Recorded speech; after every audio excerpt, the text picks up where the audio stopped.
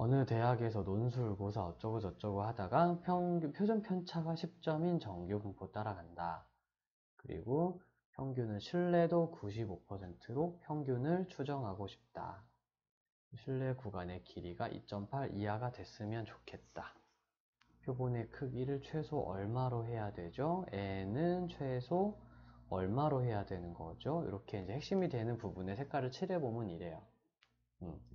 표본 평균이 있고 x바 미안 표본 평균이 있고요. x바 플러스 알파 루트 n분의 시그마 하자라는 얘기에 대해서는 이의가 없는 거죠? 이렇게 일단 요거는 이제 앞에서 훈련이 됐었어야 돼 요, 요 유형까지 왔을 때는. 자 근데 실내 구간의 길이는 이 큰 값에서 이 작은 값을 빼면 되잖아요 빼는 거. 그러니까 x가 날아가죠 그죠? 그리고 여기서 이걸 빼니까 이 알파 루트 n분의 시그마가 나온다 이렇게 배웠었어요. 아무튼 걔네가 2.8 이하가 되게 하고 싶다 이렇게 얘기했으니까 정말 나는 그 얘기를 듣고 이렇게 해놨어요. 자 이제 시그마가 누구지 어디 보자 표준 편차 10점 시그마가 10이고요. 요건 10이고요. 알파 값은 어, 1.96 알파 신뢰도 알파 하면 여기를 말하고 신뢰도 95% 하면 이쪽을 말하는 거야. 이렇게 아까 또 배웠죠? 네, 여기엔 1.96이 들어갑니다. 2 곱하기 1.96 곱하기 10 루트 n 그리고 여기는 2.8 이렇게 된 거예요. 음, 그러면 얘랑 얘랑 계산해서 1.4 정도로 날아가게 하고 자, 1.4와 루트 n을 트레이드 합시다. 이제 계산 그냥 하는 거야. 루트 n 자리와 1.4 자리는 이렇게 바뀔 수 있어요. 어우. 여기까지 괜찮니? 그 이제 이거 계산하면 n 값을 구하게 되는 거지 뭐. 어. 그래놓고 그냥 편안하게 계산만 좀 해주면 됩니다. 뭐라고요? 1.6이 나왔다고? 1.6이 나왔다고? 아 그래? 일단 그러면 그거 쌤이 받아서 계속 갈게. 일단 믿고 이쪽으로 왔어요. 그럼 양변을 제곱하면 되겠죠? 음, 25.6쯤 될 거예요. 25.6보다 커야 되니까 26명부터 최소 26명. 아니면 최소 26개. 뭐 사람이면 명을 붙이고 사물이면 개수를 붙이면서 가면 되죠.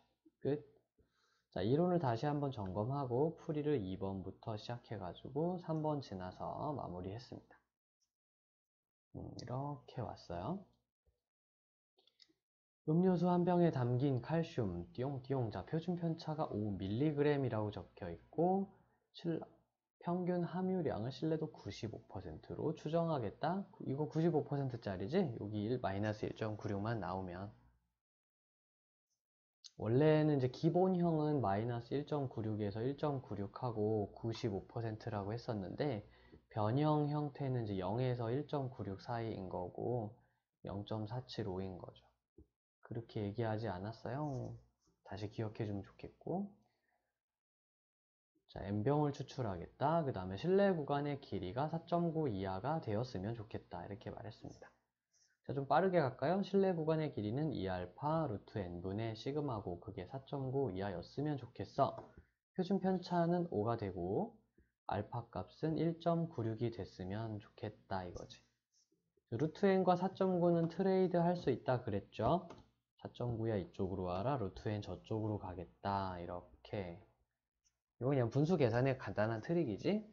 그러면 여기 있는 거 와장창창 계산하면 되는 거잖아 네, 그건 저쪽에다가 낙서하듯이 조금 계산해줘도 괜찮은 거죠. 2, 50, 19.6이고 4.9가 있으니까 49분의 196으로 보고요.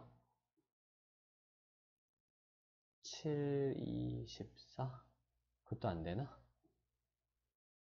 그게? 자, 이거 계산하면 4가 된다. 4. 그러면 양변 제곱해서 16보다 크거나 같으니까 n이 16일 때 좋아요 이렇게 말하는 거죠. n의 최소값은 16입니다. 끝. 됐니? 음. 고등학교 학생들이 등교할 때 걸리는 시간 아까 그 출근 시간이랑 비슷한 말투죠? 그러면 이게 표본에 대한 얘기야? 아니면은 모집단에 대한 얘기야? 이제 신경 써서 잘 읽어보면 힌트 다 있다 그랬다. 자, 고등학교 등교 시간이 표준 편차가 4인 정규분포입니다. 모집단 얘기야? 표본 얘기야? 모집단 얘기야. 그렇지. 그렇게 이해해 주면 좋겠어요. 아, 모집단 그렇단 얘기구나. 음. 그럼 아까랑 똑같죠? 이제 밑줄 안 그어도 될까나? 평균 시간 M, 신뢰도 99%, M과 M의 차이가 0.86, M과 X바의 차이가 0.86 이하였으면 좋겠어. 이렇게 얘기를 한 거예요.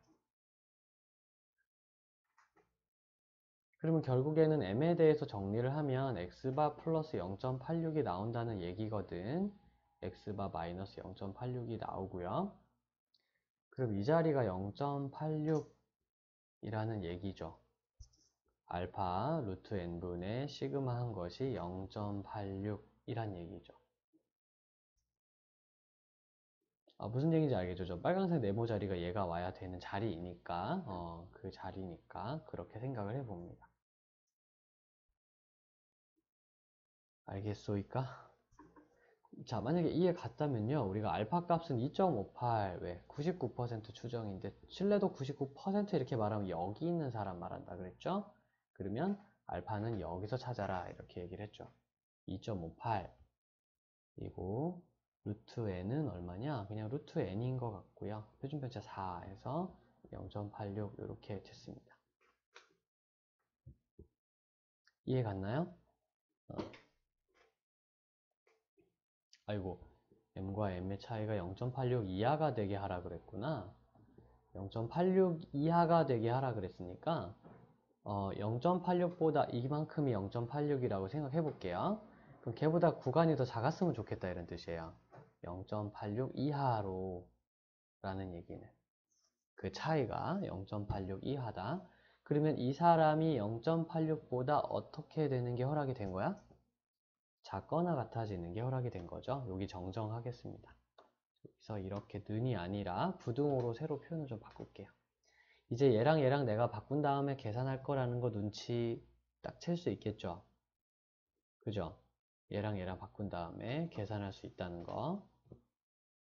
그러면 여기 자리가 0.86이 되는 거죠. 이렇게요. 그래서 이거 제곱해서 어, n이 얼마인지 찾아주면 깔끔하게 끝나요.